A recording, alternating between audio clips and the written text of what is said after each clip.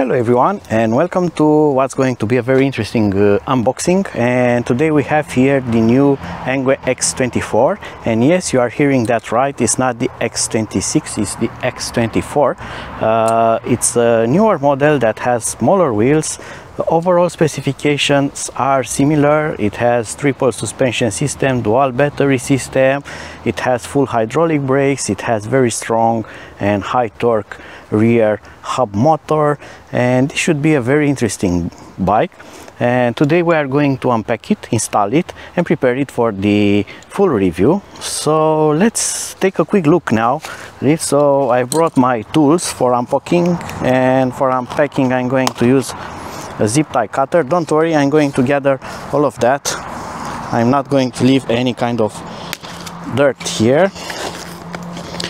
But there are a lot of things to unpack. And the front wheel will come like this separated from the rest of the bike while the bike will come really well protected in a lot of extra foam and padding. So I'm going to clip it all off. And we are going to check it out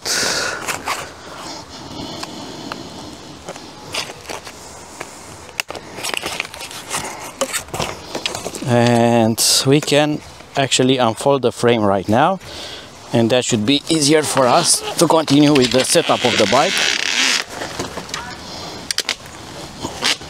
And the bike should stay in equilibrium. Something like this also please take note that the sound may be slightly distorted because I've chosen to do this outdoor because this bike is really huge and actually really heavy. Uh, the package the package not the bike has 50 kilograms. So the box the cardboard box with all the packaging the accessories the charger and whatever you get extra with the better with the bike such as the batteries pre-installed uh, seats and everything and the packaging again which is uh, very complex on this bike and uh, it uses very uh, strong cardboard. So all of that weighs uh, almost 50 kilograms. So it was really hard to actually carry and deliver this bike. And uh, unpacking it and installing it is also proving a bit of challenge because this when it's fully installed it's rather big. It's a big bike. It's not a bike that you are going to carry downstairs by yourself because you are not going to be able to do that. So i'm telling you the truth right now. So let's continue with the amp packing. And that's why the sound may be a bit weird. Because although I'm using dedicated microphone you might pick up some other noises.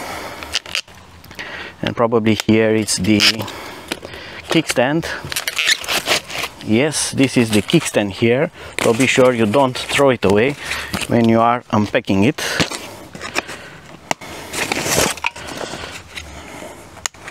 I highly recommend you getting this type of clippers because they are very efficient in cutting zip ties and not scratching the paint when you are using a scissor or a cutter or a knife. You risk damaging the paint work. So also the headlamp here. Right so we are getting close to fully unwrapping uh, the bike.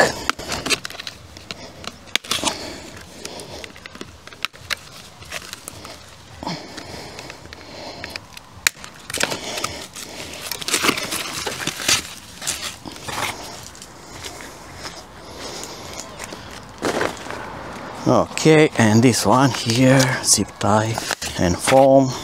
I'm going to leave the front one because it's keeping the bike stable. And now the more interesting uh, stuff happens. So for instance the tail lamp no longer comes uh, fixed because uh, it can be damaged during transport because the oversized packaging and weight. So all things that are poking in the box are somehow taken off the bike and uh, inserted into foam and wrapped under the frame so they are protected during transport. You don't get the rear seat installed you don't get get the normal seat installed you don't get the tail lamp installed uh, you don't get the front light installed. So a lot of accessories are not fixed on the bike. Uh, that is to give them protection during transport including the kickstand because the kickstand can poke here the box and the box can be pushed and damaged and all the pressure will hit the kickstand the hit kickstand will hit the bike so more damage can incur. So everything was taken out just to protect the contents of the box to further continue with our uh, setup, we are going to look into the main box where we are going to find an updated manual and I'm going, calling this updated because Engwe has changed the way it makes manuals. It actually no longer uses uh, generic manuals, it uses proper manuals and they have details for each exactly model that you are actually unpacking so this will help you a lot more so beside the updated manual X24 manual here. We get the pedals and we get two sets of keys and you are going to see why we have two sets of keys. We get the general toolbox that we get and an updated charger. The updated charger has 3 amps so more power to quickly charge your batteries because now you have this battery the tube battery and the frame battery. Uh, the tube battery is the larger one and the tube the frame battery is the smaller one. Uh, you only get one charger so you have to charge them one by one. It would be nice to have an offer on Engwe to actually get two chargers so you can charge both of them at the same time. So we are going to fix the tail lamp. This is very easy. We have two screws here. They have nylocks but we have the including spanner here. So we are going to untwist this and we have also take care we have a washer here so we do not lose the washer. And then we have the other nylock with the washer here. And this is going to go through the holder specially designed for it. And the holder has here an indent that's for the cable so the cable goes through the indent and then the lamp tail lamp will go in its place. And we are going to put first the washer and after the washer we are going to put the nylock. And then we are going to use the spanner to secure them into position. Now let's take a look at the seat install. So we have here a screw underneath and we have this system here. And the main seat the rider seat is in this box here pretty well protected I'm going to try to take it out. Right. Don't worry about the packaging. I'm going to take all of that. I'm not going to leave it here. Alright so the seat it's rather a standard Engwe seat. Nothing uh, different about it. And this this is not complicated to install but not simple either because we have this screw here that's going to be taken. Out the screw goes downward. I'm using its, its head here to taken it out but this unscrews from under the battery. So I think that I'm going to actually take the battery out. If I manage to take it out yes that's the battery. And look at that battery. This thing is huge. I don't know how to put this hole into the camera. All right. And now you can see the mechanism better here so we have this screw here that goes through this part here. So we are taking the screw out and between these two clamps here we are going to fix the rails on the seat just like that. So when you unscrew this you should get this. So you leave the screw here. You have this adjusting plate here that's going to adjust the saddle position. And then you are going to put the saddle back. I'm going to help myself putting this back because this thing is too heavy to keep it with just one hand. All right. Sorry about the camera shake. This is much better. So this adjusts the seat incline.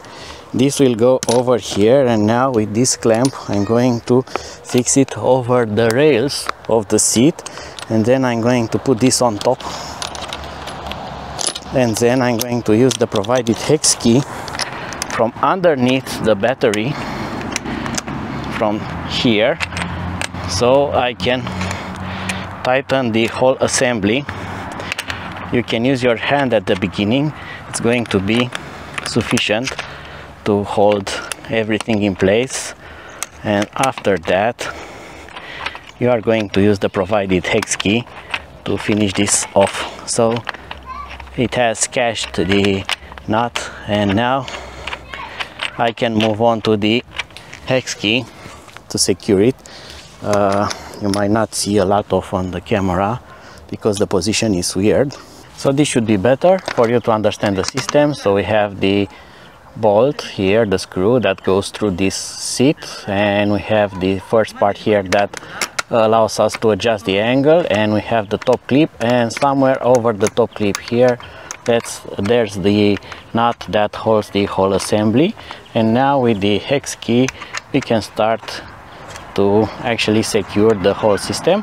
And we have this indents here where the rail of the seat is going to hold out. So now it's in position and we can secure it that way so the seat is now installed so we can move to the handlebar. That's also easy to install. We are going to say easy you get it. The seat you have seen not very complicated but not easy either. So to install the handlebar you just have to untighten these four screws here. And then we are going to fix the handlebar in this uh, holding part.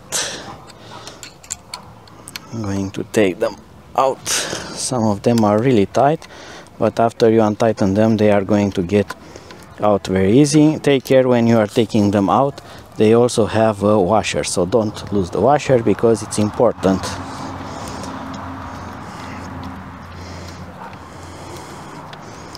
Okay. Two out two more to go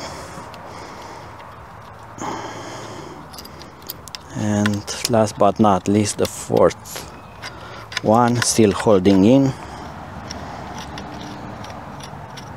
All right.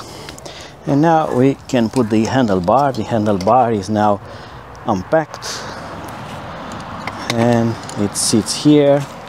So we can replace this put it back. Careful not to cross thread the screws this bike uses a lot of aluminium alloy.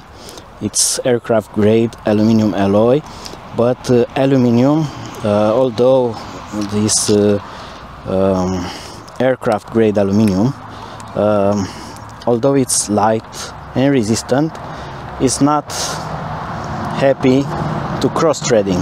So take care with that. Don't use the force. Be sure that you properly seat the screws before tighten them up. Otherwise you are going to end up cross threading them destroying thread and destroying the build. So don't do that. Also I noticed that a really nice thing here the handlebar. It's a raised handlebar so this should give a lot more comfort than a regular handlebar. So now we all have to do is to tighten up the screws to the maximum and with the handlebar installed we can move on to the kickstand. That's also easy to install. We need to find the appropriate hex key. Uh, Engwe did take care to provide us with all the needed keys to make this installment possible. So let's install the kickstand. That's also easy to do first we need to take out the screws that are included here. Also again these have extra washers onto them so be sure when you take them off not to lose the washers. Washers are actually important because they have several rows here. They prevent the screws from getting off uh, and besides preventing them from getting off they also allow you to better tighten the screws. Uh, there are a lot of things about that but maybe you should actually check some other references not me about the metallurgy of using washers. So the kickstand will go underneath this welded support here again careful not to cross thread them. They need to get in easy just by using your hand not the key. So if they don't go in easy you are doing something wrong. You just need to get them into the right position. So after you get the thread on then you can continue with using the key completely install them. And also of course to tighten them up. So you don't lose them. Right so the kickstand is also installed now but I'm going to fold it. Right and all we have to do now is to put the front wheel. That's going to be a bit more tricky. The front wheel and the front headlamp we still have the front lamp not installed. So let's do that now that's easy to do. We have this screw here pre-installed. We need to take them off. This is very tightened up so I'm going to release it. But it has a nylock so the nylock will spin. And I need to use some counter force to keep it steady. So let's see will some of the Engwe provided spanners will fit so I'm going to use this spanner here underneath and let's see if this is enough. So in not an 8 it's probably a 10 does it work? I think it's working. Yes it's working. This is getting off. That's very good. So we need to take this off completely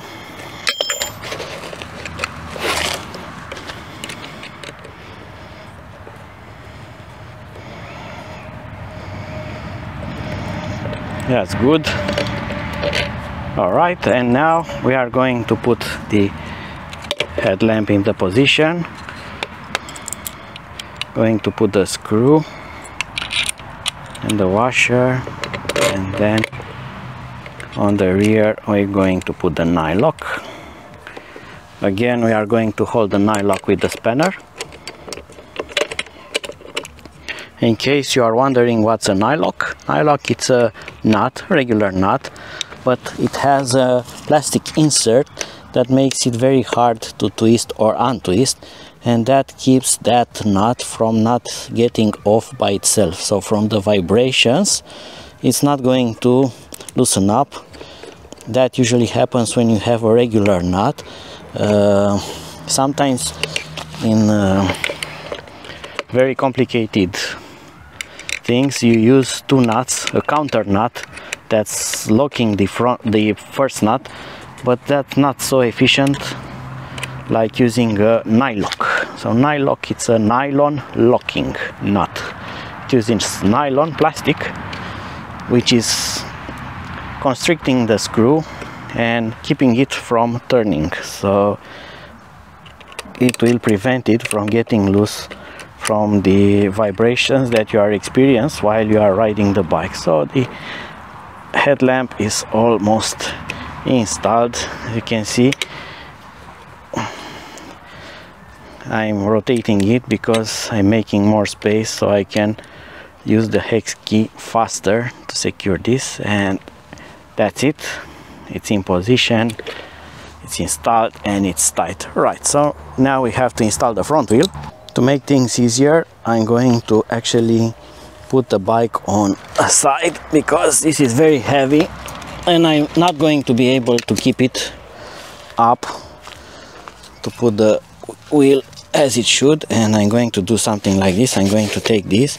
I'm also going to put this foam underneath so it holds the bike in position that way. And now we need to take this off. This is a protection for the fork during transport so it doesn't hit and bend.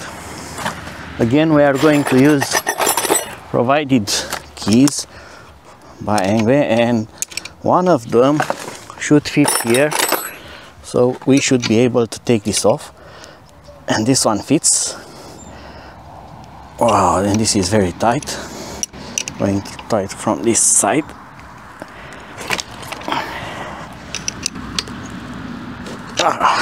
managed to do it all right. And from this side here I also need to put the bike back into the position.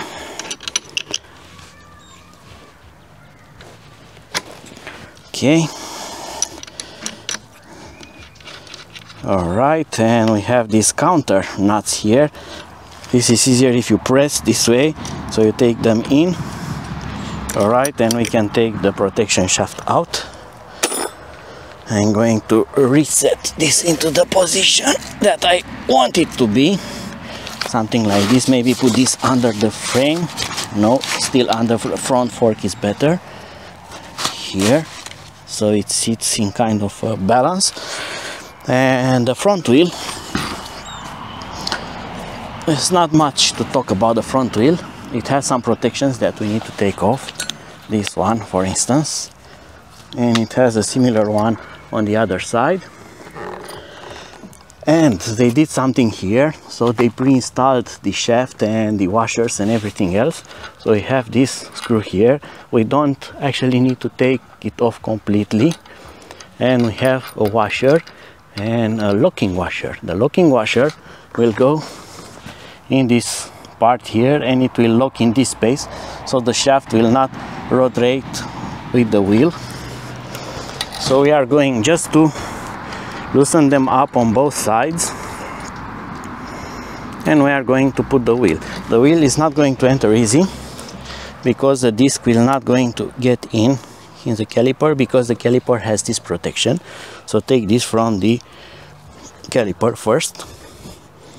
And now we should be able to install this so the brake disc will go through the caliper and we need to lift I'm going to untwist this more.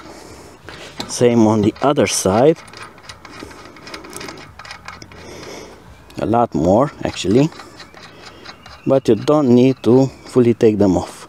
Now I'm going also to raise these and also be sure that the lower ones are in the correct position.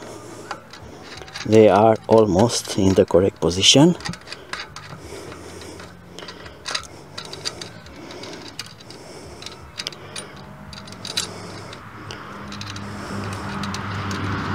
Okay.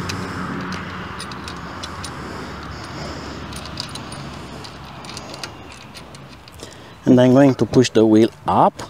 This is in and now I'm going to tighten them up from both sides. Be sure that the locking washers indent matches the front fork opening so they don't untwist and rotate. So I'm holding this up. I'm going to move it a bit. And now it's fully inserted. So I'm going to slowly tighten them up from both sides. So I'm sure that they are in the correct position fully inserted. Right so the front wheel is installed but maybe we are going to need to adjust the front caliper a bit just a bit so it's not touching any size of the disc. This one touches it slightly but if you put push the brake a few times it might just settle into correct position so I need to ride this a bit first and then adjust the caliper. Right so it's not over. We have one more thing left to do. We have to install the pedals. For the pedals you know the procedure. Poke them take them out of the plastic bag. And we again have the Wellgo full metallic pedals that are not folding and they are labeled L and R. And of course they are also labeled on the bike. So the L1 it shows us how to properly install it. And again I highly recommend you to check this out. And they should go in easy by hand. If they don't go easy you are cross-threading in them and you are destroying them. So that's one pedal installed and it goes the same for the other one. The other one has reversed thread. So just follow the arrow that's on the pedal and you are good with that. Last but not least we are going to connect the main battery and that's with this flex cable. I'm going to tell you that this bike uses fusion battery combiner circuitry that's a device that uses uh, so-called ideal diodes. It puts two batteries in parallel. The one that has more charge is getting discharged firstly and then uh, they both work together out and they are going to match and share the load so the seat battery with the frame battery are going to work together and they are going to provide some awesome range. Oh and I did forgot something and that's the rear seat because this bike has two seats. Almost forgot about that because that was hidden in some packaging here. That was looking like the stuff that I was throwing out and here is the seat and the seat has these nylock parts and it should go in something like this. And it should just slide in just like that. But doesn't seem to be just like that so I'm going to yep I'm having a problem excuse me but instructions were wrong. We have this locking screw so we don't get this off. Sorry. So we have the Engwe provided. Screwdriver so we actually need to take this screw out first.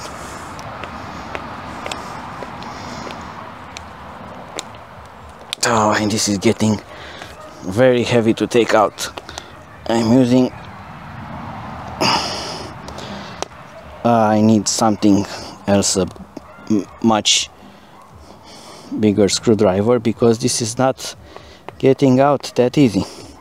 But the idea with this screw is that you have this hole here. So on this main holes here this we are going to slide in. But with this one you are going to use one of these holes here to lock this. So this goes in and it's not going to slide out because it's held in place by this screw. But you need to take this off put this on and then put the screw from underneath so it holds it in place. But I cannot take it off. I'm going to use a larger screwdriver to take this off and then put it as it should. And now I'm going to power on the seat battery. The other battery is connected when you unfold the bike so let's power this on and there we go. We have power. We have the latest all in display. The one that you also get on the updated engine pro with lots of options. Five working seats modes. We get normal. We get sport. We get eco. So let's see if this works. Uh, does it have throttle installed throttle is a push button here. Uh, but probably we also need to select here um, working mode so let's see now yes it works. So